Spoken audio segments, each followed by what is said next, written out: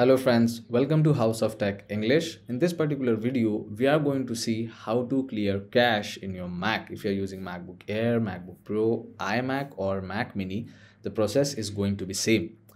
Now, you should clear your Mac's cache to optimize its performance. Now, doing this will delete your media files and images and text files that are gathered from the websites you visit or let's say applications you run. So which is why to optimize your Mac performance, you should always uh, clear cache every now and then. But how to do that? So the first step is you can simply go and select the go option, which is on the menu bar. You can tap on that and select go to folder option or else the shortcut for that is shift plus command plus G. So if you press the shortcut button, which is shift plus command plus G, it will open that go to folder option.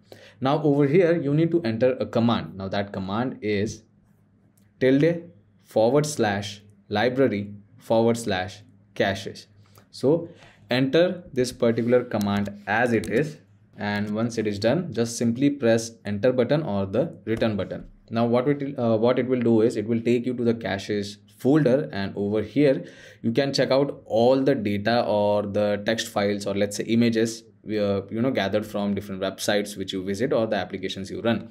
So in order to clear it completely either you can go on edit and select uh, select all option over here like this or else uh, the simple thing you can do is you can just simply press command plus a on your keyboard to select all the files present in this particular folder.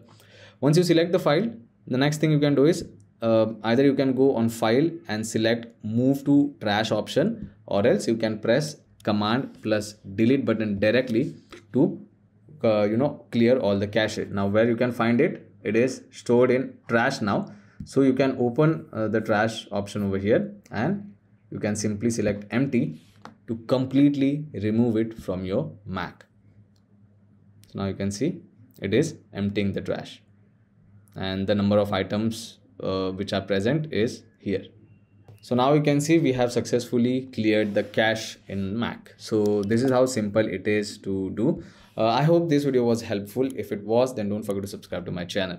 I will see you all in the next one. Thank you.